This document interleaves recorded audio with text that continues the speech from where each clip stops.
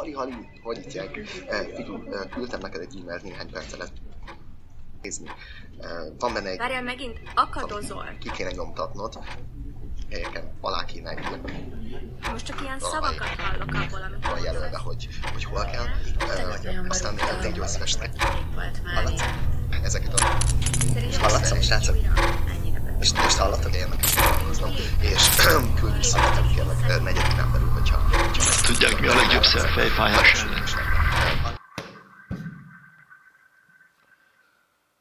Sziasztok! Én Gergő vagyok. Beszéljünk ma a kiégésről. Ez itt a Mély Levegő Projekt, a pszichológiáról tudományosan és közérthetően.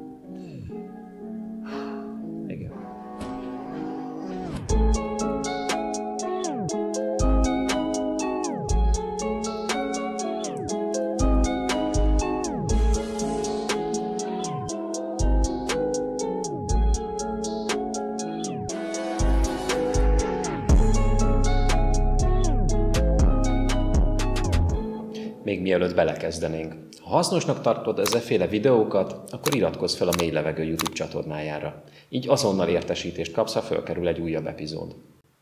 Na szóval, a kiégés. A szó, ami számtalan cikk, előadás, program vagy könyv főszereplője. A jelenség, ami egyik kulcsfogalmává vált a munka és szervezet pszichológiának. Nem véletlenül övezi ilyen nagy érdeklődés, hiszen az élet számtalan területén tapasztalhatunk kiégést. Kiéghetünk a munkánkban, kiéghetünk a feladatainkban, kiéghetünk a Covid járvány hatásaival való vége láthatatlannak tűnő küzdelemben, de akár még olyan szerepeinkben is, mint a szülőség vagy a párkapcsolati szerepünk. Bár a kiégés élménye nagyon hasonló mindegyik helyzetben, a mai alkalommal elsősorban a munkahelyi kiégésről fogunk beszélni. De mit is jelent a kiégés?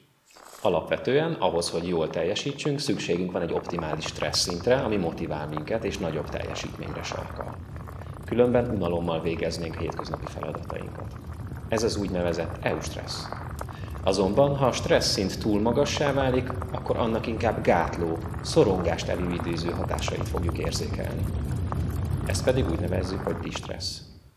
A kiégés lényegében egy krónikus, hosszan tartott stressze adott válaszreakció, amit három dimenzió jellemez.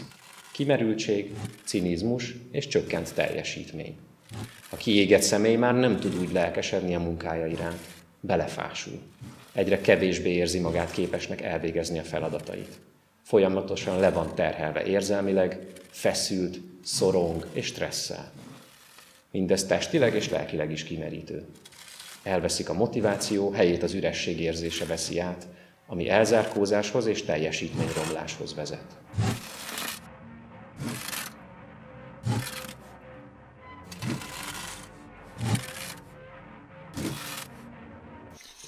Jellemzően a személy ilyenkor kerüli a stressz forrását, nem barátkozik a kollégákkal, nem vesz részt a közös eseményeken. A krónikus stressz következtében megjelenhetnek olyan panaszok is, mint az erős fejfájás, a hasfájás vagy az emésztési problémák. A kiégett személy energiahiányban szenved. Nehezen küzd meg a stresszel, gyakran és könnyen irritáltá válik. És az a mondás sem igaz minden esetben, hogy teher alatt nő a pálma. Ugyanis a kiégés egyik legnagyobb ismertetőjegye a gyakori hibázás, pontatlanság és összességében a teljesítő képesség romlása. Mind az otthoni, mind a munkahelyi környezetben. A kiégett személy nehezen koncentrál és gyakran feledékeny. Alapvetően hét lépésre oszthatjuk fel a kiégés folyamatát. A bizonyítani akarástól a bizonyítás kényszerig. Görcsösen meg akarunk felelni ilyenkor, jól teljesíteni, akár extra feladatot is vállalunk, csak hogy bizonyítsunk. A stressz pedig egyre csak nő és nő. A személyes igények és konfliktusok elfolytása. Egyre inkább magunk elé helyezzük ilyenkor a célt, a feladatokat, a kötelességeket és a határidőket. Az értékrend megváltoztatása. Értelemszerűen, ahogy a munkahelyi elvárások szépen lassan felkerülnek a prioritási listánk első helyére, úgy rendezik át az értékrendszerünket. Egy projekt fontosabb lesz, mint egy családi rendezvény. Visszahúzódás. Mindenben bizonytalannak érezzük magunkat, a szakmai kompetenciánktól kezdve a szociálisig bezárólag. Így inkább meghúzzuk magunkat, az a biztos. A depersonalizáció során eltávolodunk másoktól és saját érzéseinktől. Sajnos a burnout odáig is vezethet, hogy már rá sem ismerünk önmagunkra. A belső üresség. Kutatások bizonyították, hogy a burnout és a depresszió tünetei között nagyon nagy az átfedés, illetve a depresszió és a kiégés együttesen is gyakran megjelenhetnek. Aki kiégést tapasztal, annál nagyobb kockázattal alakulhat ki depresszió is. És végül a teljes kiégettség. Ez a végső állomás, ami megtestesíti magát a fogalmat is. Ebben az állapotban gyakoriak a munkahelyi hiányzások, a kritikus teljesítményromlás, jellemző a szociális kapcsolatok elvesztése, valamint a teljes kiábrándulás a munkahelyből. A kiégésnek öt fő okát határozhatjuk meg. Azok a munkavállalók, akiknek elegendő idejük van arra, hogy elvégezzék a feladatukat, 70%-kal kisebb eséllyel tapasztalnak kiégést, mint az olyanok, akik nagy időnyomás alatt dolgoznak. Ilyenek például a tűzoltók. A vezető egyfajta támaszként tud szolgálni nagy nyomás alatt, így ismételten 70%-kal kisebb eséllyel tapasztalnak kiégést azok, akik támogatva érzik magukat a főnökük által. Amikor az elvárások folyton változnak, kimerítő azokhoz állandóan alkalmazkodni. Ha tisztázatlanok a helyzetek, akkor a feladat elvégzésénél is több időt és energiát vesz igénybe, hogy magad gyere rá, mi is az elvégzendő feladat. A túlzott leterhelés még az igazán optimista munkavállalókat is megrengeti. Azonban a túlterheltség érzése nagyon gyorsan tud burnouthoz vezetni. Azok, akik úgy érzik, hogy nem részesülnek egyenlő bánásmódban, például kivételeznek a kedvenc beosztottal, nem fair módon kompenzálnak, azok 23-szor nagyobb eséllyel élnek át magasfokú kiégést. További kockázati tényezőket jelenthetnek például az anyagi megbecsültség vagy a munkavégzésért járó elismerés hiánya.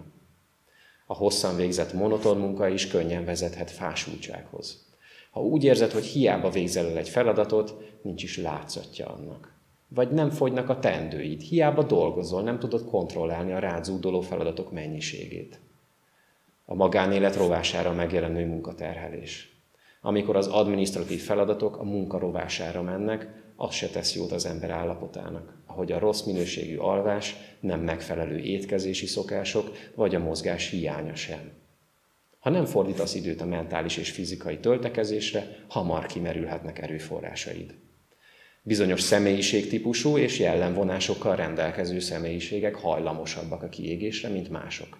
Ideértve például a perfekcionistákat, vagy a neurotikus hajlamú személyeket.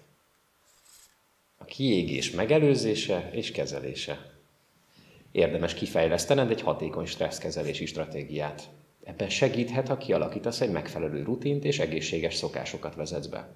Ilyen például a napi séta, az olvasás, meg ilyenek. Gyűjts össze és tervezd meg azokat a tevékenységeket, amelyek örömet okoznak neked. Igyekezz időt szánni minden nap valami olyasmire, ami feltölt.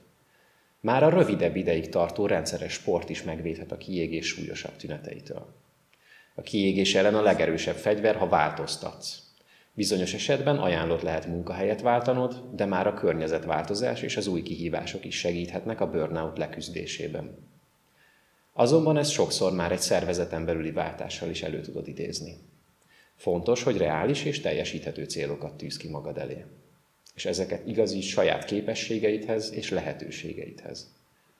A flow élmény és ezáltal az örömteli munkavégzés akkor jön létre, ha apránként növeled a kihívásokat és van sikerélményed.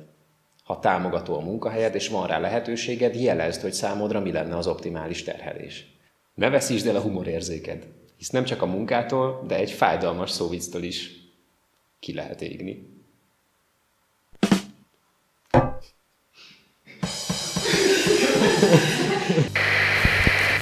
Fontos, hogy szeretettel és megértéssel fordulj magad felé.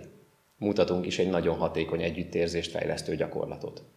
Fogj egy papírt és egy tollat. Képzeld el azt, hogy az egyik barátod van most a te helyedben. Ír neki egy levelet, amelyben próbálod megérteni, hogy milyen helyzetben van most ő. Szerinted mire lenne most szüksége? Gondold végig, vagy akár írd le a jelenlegi céljaidat. Vizsgáld meg, hogy melyek a legfontosabbak, és miért foglalkozol velük.